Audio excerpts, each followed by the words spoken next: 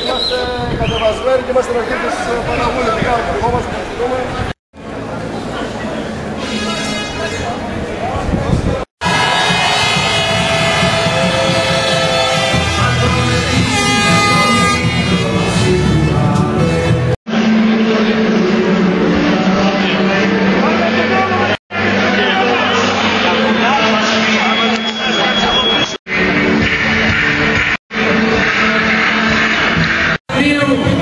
Ψηφίζουμε για την Ευρώπη.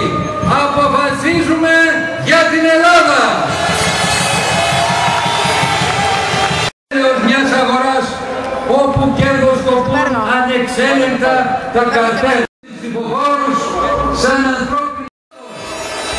Κάντε- Ζητάμε την διαφάνεια στην διαχείριση των αποθεματικών ταμείων σε όλη την Ευρώπη, των ασφαλιστικών ταμείων.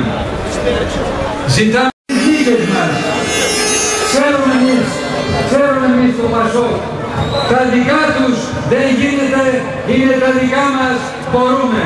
Το έχουμε αποδείξει.